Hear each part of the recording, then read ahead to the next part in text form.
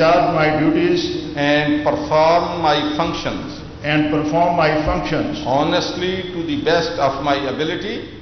Honestly to the best of my ability. And faithfully. And faithfully. In accordance with the Constitution of the Islamic Republic of Pakistan. And in accordance with the Constitution of the Islamic Republic of Pakistan. And the law. And the law. That I will abide by that I will abide by the code of conduct issued by the Supreme Judicial Council. issued by the Supreme Judicial Council. That I will not allow my personal interest that I will not allow my personal interest to influence my official conduct or my official decisions.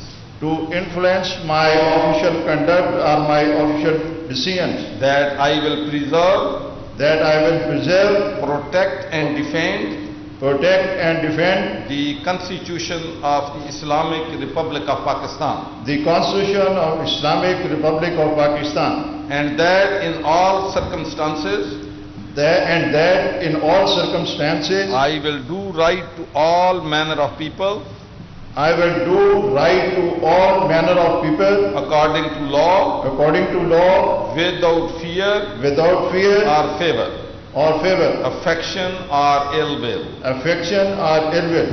May Allah Almighty help and guide me. Amin. May Almighty Allah help me and guide me. Amen. Congratulations. Thank you very much. Chief Justice uh, अमीर, मोहम्मद अमीर भट्टी ने अपने नए अहदे का हलफ उठा लिया है। Justice Mohammad अमीर भट्टी ने लाहौर हाई कोर्ट की चीफ जस्टिस की हैसियत से हलफ उठा लिया है। गवर्नर पंजाब चौधरी मोहम्मद सरवर ने जस्टिस मोहम्मद अमीर भट्टी से हलफ लिया है। ये लाइव मनाजर आप देख सकते हैं। वज़ीर अला पंजाब सरदार उस्मान बुजदार भी इस हलफ बर्दारी की तकरीब में इस वक्त मौजूद हैं। लाहौर हाईकोर्ट के नए चीफ जस्टिस मोहम्मद अमीर भट्टी ने अपने अहदे का हलफ उठा लिया है। गवर्नर पंजाब चौधरी मोहम्मद सरवर ने जस्टिस मोहम्मद अमीर भट्टी से उनके नए अहदे की हैसियत से हलफ उठवाया है और ये मनाजर आप देख सकते हैं, जस्टिस मोहम्मद अमीर भट्टी ने लाहौर हाईकोर्ट के नए चीफ जस्टिस की हैसियत से हलफ उठा लिया है।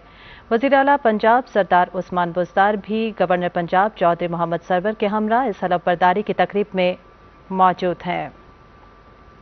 पाकिस्तान टेलीविज़न न्यूज़ से ये